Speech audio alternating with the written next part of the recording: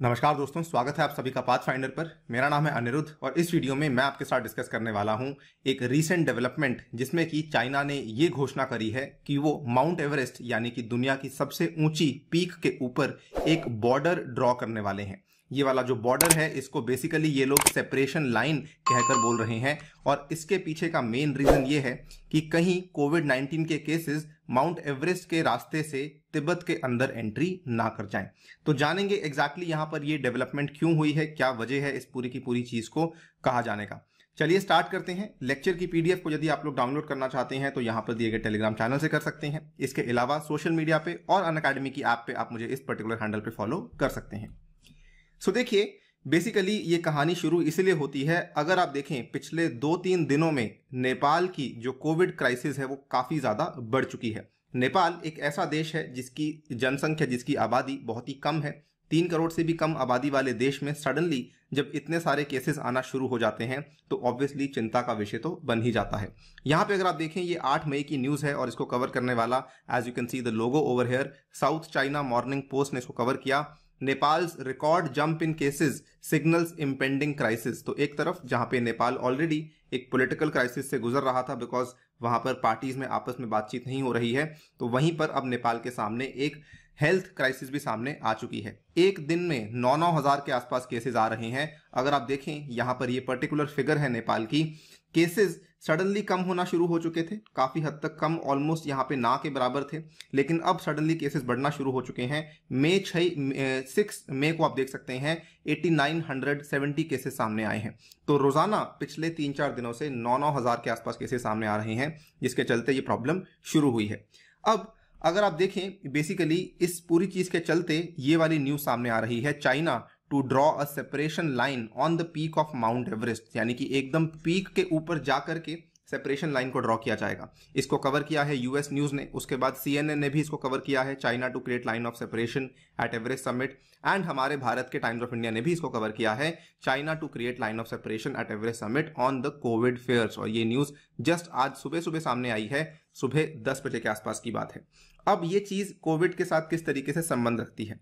अब देखिए बेसिकली क्या हुआ था? अगर आप इस चीज़ को समझें, इस मैप को अगर आप ध्यान से देखें माउंट एवरेस्ट जो है, आप देख सकते हैं, ये एक बाउंड्री के ऊपर लोकेटेड है। ये वाली जो इंटरनेशनल बाउंड्री है दोस्तों, इस तरफ़ पड़ता है नेपाल और इस तरफ़ पड़ता है तिब्बत। तिब्बत आपको मालूम होगा, तिब्बत को कंट्रोल करने वाली जो कंट्री है, वो बेसिकली चाइना है। तिब्बत को तिब्बत का ऑटोनॉमस रीजन कहा जाता है।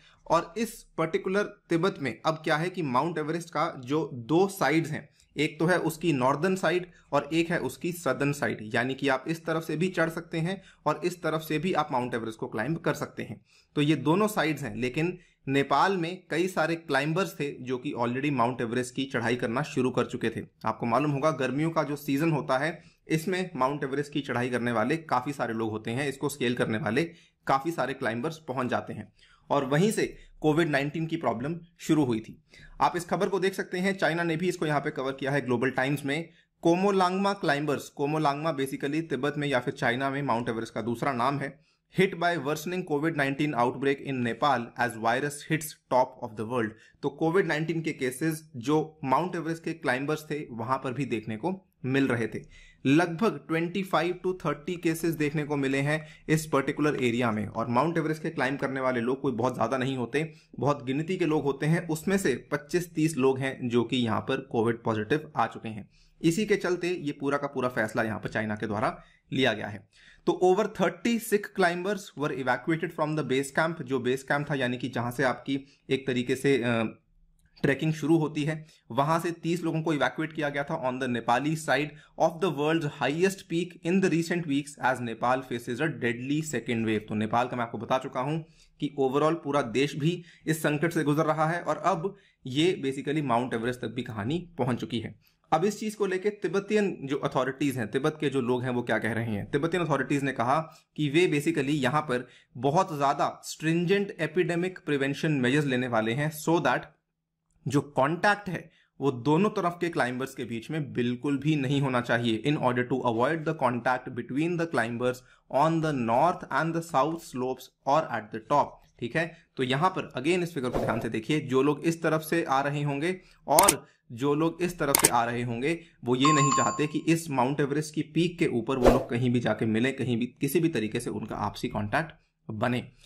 अब बात आती है सेपरेशन लाइन की तो ये एक तरीके का बॉर्डर है जो कि चाइना यहाँ पे ड्रॉ करने की कोशिश कर रहा है। बॉर्डर कौन ड्रॉ करेगा? बेसिकली जो माउंटेन गाइड्स होते हैं, जो ये क्लाइंबर्स के साथ गाइडिंग टीम्स जाती हैं, इसमें माउंटेन गाइड्स होते हैं। ये यहाँ पे डिवाइडिंग लाइन्स को सेटअप करने वाले हैं on the summit of the mountain before they allow the mountaineers to start the climb और ये वाला जो स्टेटमेंट है, ये तिब्बतियन माउंटेनियरिंग एसोसिएशन के जो हेड है, उनके द्वारा दिया गया है। अभी तक ये क्लियर नहीं हुआ है कि इतनी ऊपर जाकर ये किस मटेरियल का इस्तेमाल करेंगे सेपरेशन लाइंस को डिवाइड करने के लिए बिकॉज़ वो भी एक बहुत ही बड़ा चैलेंजिंग टास्क होने वाला है। तो वो चीज़ अभी तक फाइनल नहीं करी गई है। नाउ ये कोई ऐसी बात नहीं है कि चाइना ये पहली बार कर रहा है, पिछले साल की बात है और पिछले साल इनफैक्ट इसी महीने की बात है। अप्रैल 2020 के आसपास की बात है, जब चाइना ने ये तय कर दिया था कि कोई भी फॉरेन नेशनल जो व्यक्ति है, वो माउंट एवरेस्ट को क्लाइंब नहीं कर सकता है because of the virus outbreak आप इस खबर को ध्यान से देख सकते हैं। ये एक वेबसाइट है जो कि कई सारे ट्रैवलर्स फॉलो करते हैं। चाइनीज़ क्लाइंबर्स स्टार्टअप एवरेस्ट ठीक है? Foreigners banned nearly thirty climbers जो है, वो शुरू कर रहे थे अपनी चढ़ाई को, लेकिन फॉरेनर्स को यहाँ पे चाइना ने बैन कर दिया था। इसका कहीं ना कहीं कारण ये भी रहा कि नेपाल ने इस बार असल में बहुत ज़्यादा परमिट्स दे दिए थे। तो केवल नेपाल ही नहीं, दुनिया भर के कई सारे देश हैं जो कि टूरिज़्म के ऊपर डिपेंड करते थे, लेकिन टूरिस्ट इंडस्ट्री बहुत ज़्यादा खराब तरीके से प्रभावित हुई because of the COVID nineteen pandemic तो नेपाल ने कहीं ना कहीं उस पर्टिकुलर लॉस को कंपनसेट करने के लिए कई सारे यहाँ पे नंबर ऑफ़ परमिट्स दे दिए थे। Nepal has issued a record number of climbing permits to try and boost visitors after its tourism industry suffered a devastating blow. माना जाता है कि इस साल नेपाल ने लगभग 400 परमिट्स दे दिए थे और ये एक बहुत ही बड़ा नंबर है, ये देखते हुए कि यहाँ पर नेपाल में केसेस जो हैं वो बढ़ चुके हैं और इतने सारे परमिट्स जब दे दिए जाते हैं तो ऑब्वियसली लोगों की संख्या भी वहाँ पर बढ़ जाएगी तो जैसा कि मैंने आपको बताया कि लगभग 400 लोग टू बी वेरी प्रिसाइज 394 लोगों को परमिट दे दिया गया है। तो इसके चलते होता क्या है कि जो बेस कैंप होता है, वहाँ पर लगभग हज़ार लोग एक टाइम पे इकट्ठा होते हैं। तो जब ये हज़ार लोग एक टाइम पे इकट्ठा होते हैं तो कोविड नाइन्टीन की फैलने की जो प्रोबेबिलिटी है, वो काफ़ी ज़्यादा बढ़ जाती है। इसमें फॉरन क्लाइंबर्स होते हैं, नेपाली गाइड्स होते हैं, जो कि इन फॉरन क्लाइंबर्स को साथ में स्कॉट करते हैं। कई सारे लोग यहाँ पे इकट्ठा हो जाते हैं। तो देखना बाकी है कि एग्जैक्टली क्या होगा और चाइना किस तरीके से यहाँ पर इस लाइन को ड्रॉ करेगा। जैसे ही कुछ होगा, आपके साथ हम डेवलपमेंट को शेयर कर देंगे। जाने से पहले एक फैक्ट आपको बताना चाहता हूँ कि अगर कोई एवरेस्ट को क्लाइम करना चाहता है स्केल करना चाहता है तो नेपाल की तरफ़ से जो खर्चा आता है, वो केवल और केवल परमिट का खर्चा लगभग ग्यारह हज़ार डॉलर का आता है और ओवरऑल उस इंसान का लगभग चालीस हज़ार डॉलर के आसपास खर्चा लग जाता है।